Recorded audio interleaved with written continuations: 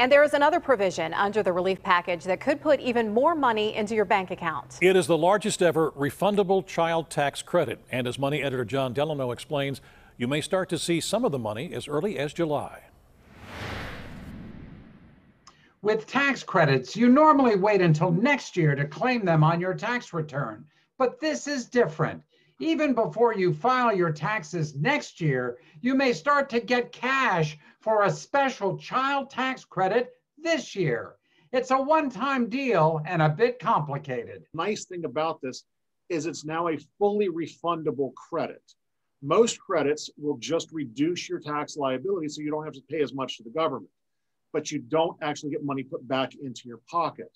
In this situation, you will get money put back. How much money? $3,600 for every child five or under, and 3000 bucks for every child from 6 to 17. And one half of that money could be sent to you in advance in a monthly check. And starting in July, at least this is what the IRS is projecting right now, they will start making monthly payments to you.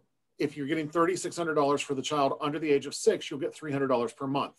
If it's a child who's say 12 years old, you'll get 250 per month and then the rest of that will be claimed as a credit on your tax return in 2022. As long as you have filed a tax return, you don't have to do anything more. When you filed your taxes, you would have claimed these children as dependents. The IRS is also going to check with the Social Security Administration to see the age of your dependents and who your dependents are. If you earn too little to file a tax return, take note. Well, you have to file a tax return for 2020 to get that monthly payment. Single parents earning under $75,000 and married parents under 150,000 get this child tax credit.